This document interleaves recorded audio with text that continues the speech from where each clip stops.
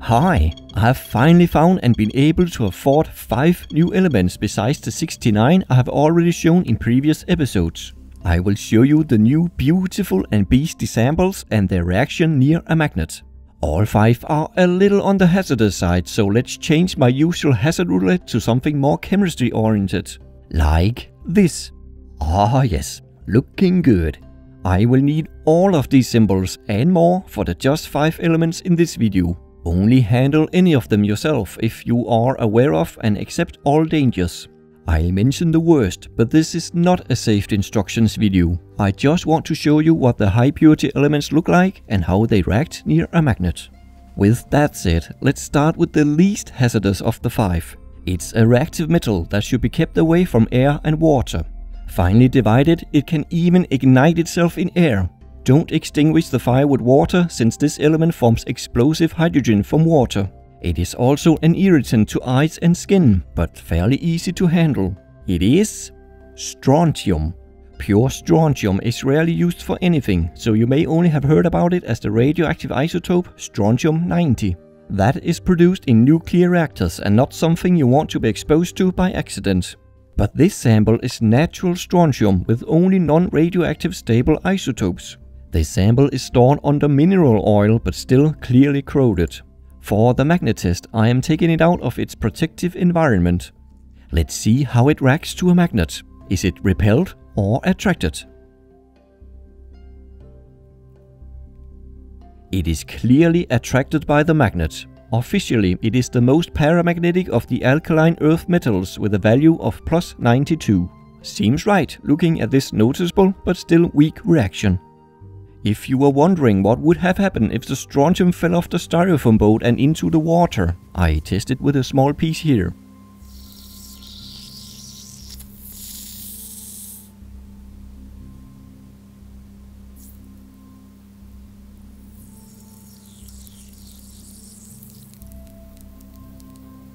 Quite a reaction. A lot of hydrogen bubbles are formed as the strontium turns into white strontium hydroxide.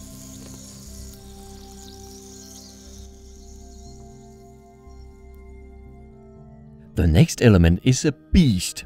Make sure you don't come in any contact with this one. It is very toxic and volatile, so don't breathe its fumes. It is corrosive, even to stainless steel, and it is a danger to the environment. Yeah, don't handle this one. Bromine is something as unusual as an element that is liquid at normal temperatures and pressures. Only mercury has this property too, making bromine the only non-metallic liquid element at normal living conditions. I'm glad this is in a sealed glass ampule. Halogens are not easy to keep trapped. Look how another of my halogens has ended up in storage. This iodine sample has found a way out and stained all of the paper insert in the box. Good thing that the toxic fumes of bromine isn't given the same chance to escape. It's not optimal for the magnet test, but I will have to include the glass in the test.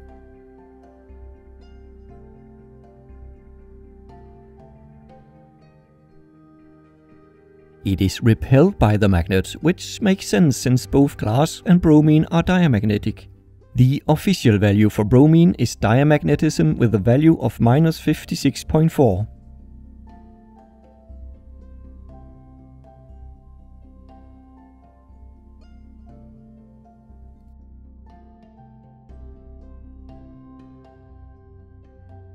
From one beast to a close relative, Next element is an oxidizer, very toxic to us and aquatic life, irritant to skin and eyes, and damaging to organs.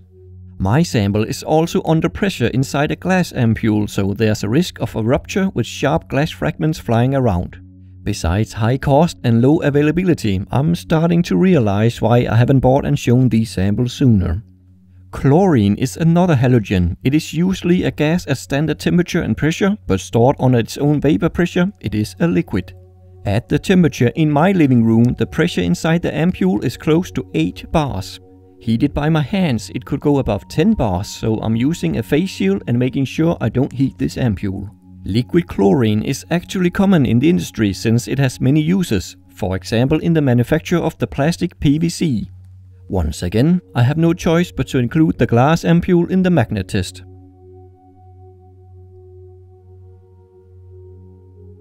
This was not easy to detect, but using a bigger magnet up close, I got a reaction.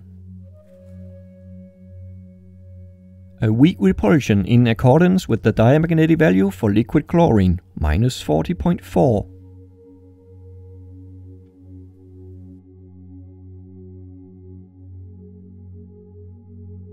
Next up is a corrosive metal that is very reactive, much more than strontium.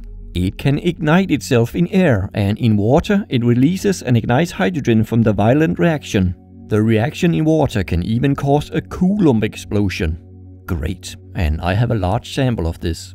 This element was shipped in a steel tube and is my most expensive sample. Not in dollars per gram, but from being a large sample. It is rubidium. 25 grams of high purity rubidium is more than I really wanted, but it didn't cost much more than the 10 gram sample matching my cesium sample. Here it is compared to the 10 grams of cesium. It's not easy to show the colors of such reflective samples. They tend to reflect the color of the surroundings, but by holding a white piece of paper above them, you can see that the cesium has a golden color, while the rubidium is silvery.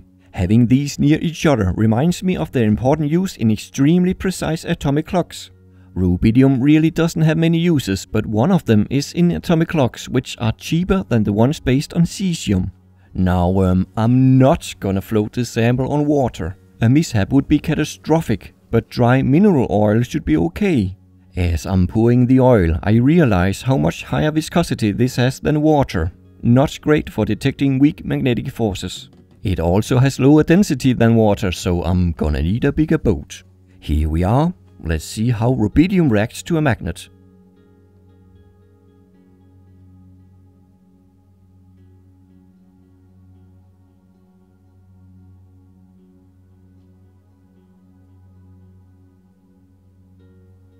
Alright, I'm seeing the effects of eddy currents forming in the rubidium.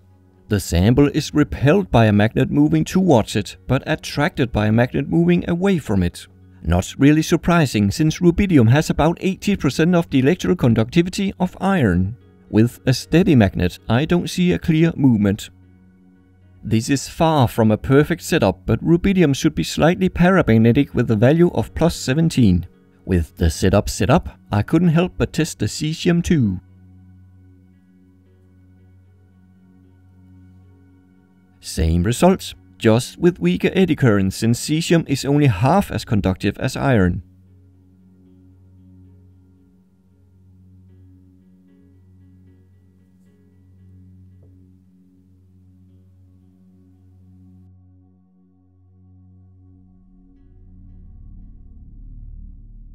The last element is mostly famous or infamous for being radioactive but it is also toxic to us and aquatic life with long-lasting effects. It is damaging to organs in smaller quantities through prolonged or repeated exposure. It ignites if heated in air and in powdered form it can even ignite itself. In other words, it is pyrophoric. However, it isn't fissile, so no risk of a nuclear boom.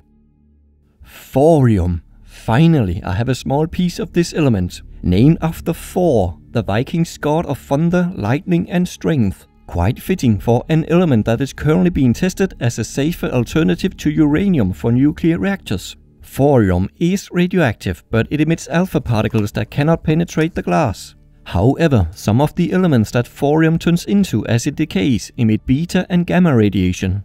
So I can detect some radioactivity outside the glass. When beta particles hit the glass, it can also turn into X-ray radiation from what is known as Bremsstrahlung. Pure thorium is not easy to get hold of and this is by far my most expensive element sample measured in cost per gram. The thorium is coated with a black layer of thorium oxide but shouldn't corrode further since it is stored under argon. With such a small sample in a heavy glass ampule, it may not be easy to detect anything with the magnet but let's give it a try.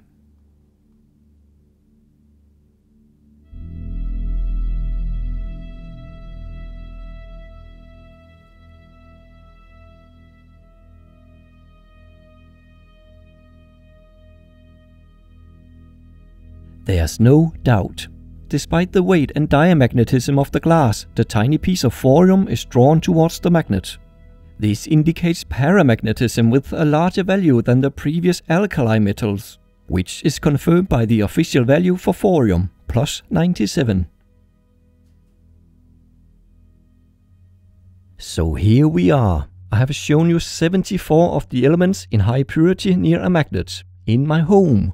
In part 1, almost 7 years ago, I said this. I haven't been able to afford all available metals yet, but will expand in the future so I can update this video. I would say this dream has now come true. Thanks for the strong interest and great feedback on this series through the years. It helps a lot. And a special thanks to my patrons.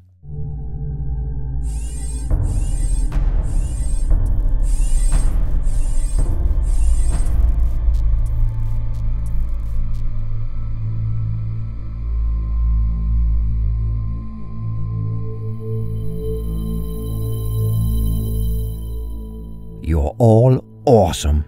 Thank you so much for helping out. It's really appreciated and important for a niche channel with monthly quality uploads like mine.